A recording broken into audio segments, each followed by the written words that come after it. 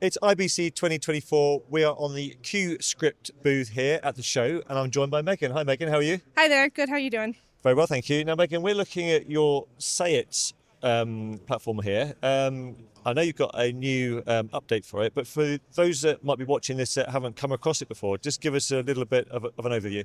Sure. So, our Say iT software is a voice activated prompting software. It Okay. takes your voice and creates a scroll controller out of it.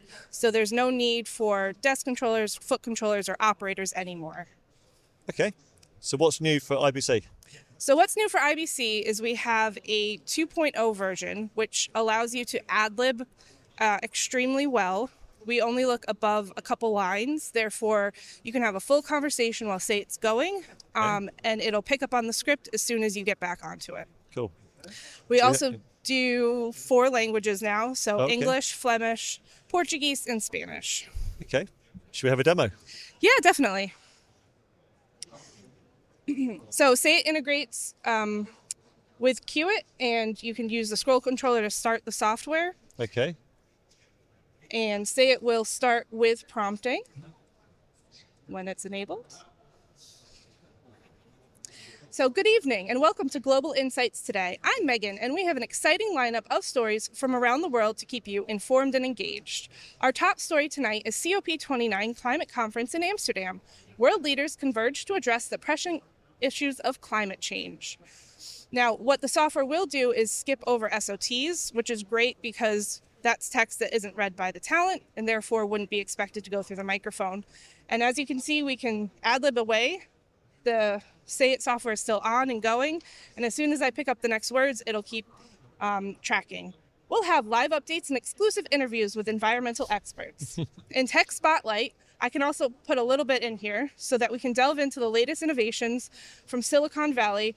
We got some AI breakthroughs, self driving cars, so we've got the tech world covered. Kind of mix and match a little bit, um, and it knows where you're going with it. So, turning to in- international affairs, we discuss the ongoing peace negotiations in Europe. Again, another little SOT that it's going to skip over for you. Can diplomatic efforts lead to a lasting solution? It's incredible. And I can promise there's no one behind the here. No, no, yeah, nobody's scrolling for us. That's excellent.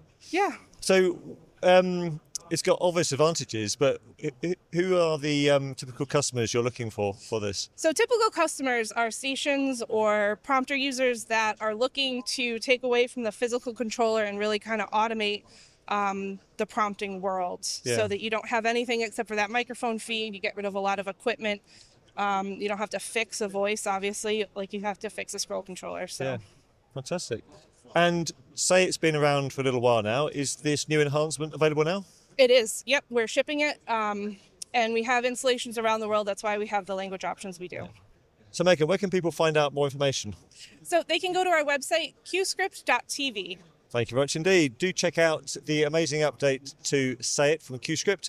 Uh, we're doing another video here at the show with one of the teams, so do check out that on our channel as well, as well as everything else we're doing at IBC, which is at kitplus.com.